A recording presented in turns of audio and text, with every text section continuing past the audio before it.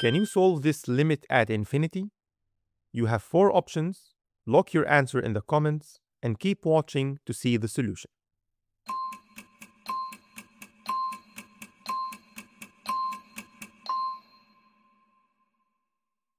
When we have a limit at infinity, it helps to compare the degrees of the numerator and denominator. So the answer may be immediately obvious to some of you. But to some, this may be a little challenging because of the square root in the numerator.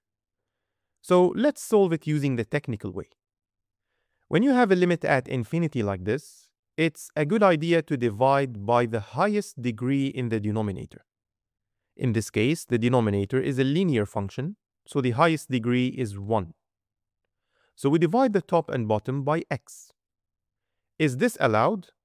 Well, x is approaching infinity, so it's a large positive number, meaning it's not zero, so we can definitely divide by it.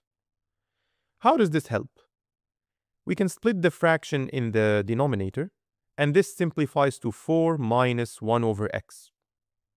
For the numerator, we want to insert the x inside the square root. In order to do this, we'll rewrite x as the square root of x squared. Now, the square root of x squared is technically the absolute value of x, but since we know x is a large positive number, then this will just be x itself. So this equation is true, meaning we can rewrite x as the square root of x squared, allowing us to then insert it in the denominator like this.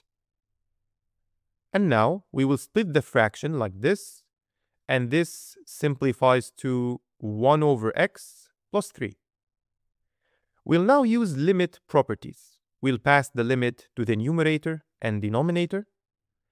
We'll slide the limit inside the square root. So we'll have the limit of 1 over x plus 3 inside the square root.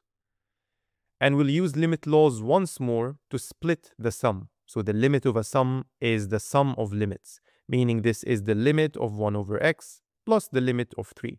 We can do the same thing for the denominator and split the limits.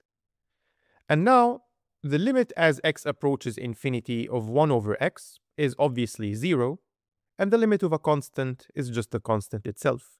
So this works out to be the square root of 0 plus 3 over 4 minus 0, which is the square root of 3 over 4. So the correct answer is B. Could you figure it out?